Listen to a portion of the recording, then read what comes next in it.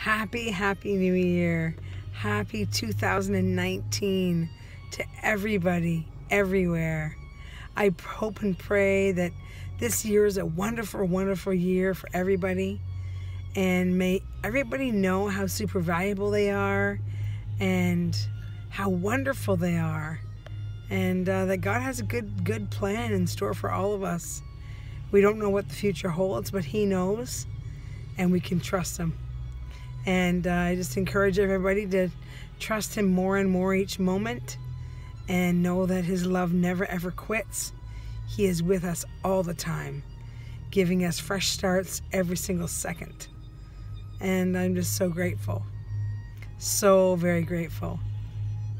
Um, so much has happened uh, in my life, and I am just amazingly grateful for what He's done.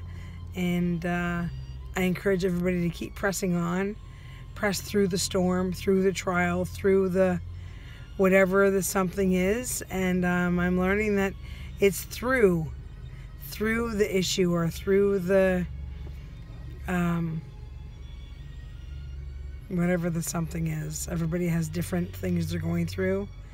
Um, and uh, I just encourage everybody to know you're so valuable.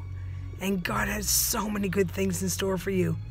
If I had known 20 years ago, 30 years ago, that I would be nursing a baby at 50 years old, I would have never believed that.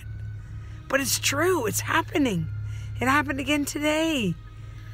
And he's having a cozy sleep. Oh, I'm so blessed. I'm so blessed. I thought I was going to get to make this movie with the with the sunset behind me, but it didn't work out today. And I just I just am encouraging everyone to to never give up, never quit, and um, to know that God has massively, massively, massively good things in store for you. He really, really does.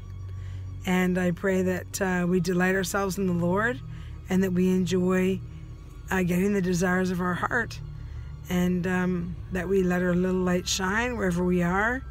And um, yeah, I'm going to do everything I can to be the best mom and the best wife I can be in the moment I'm in.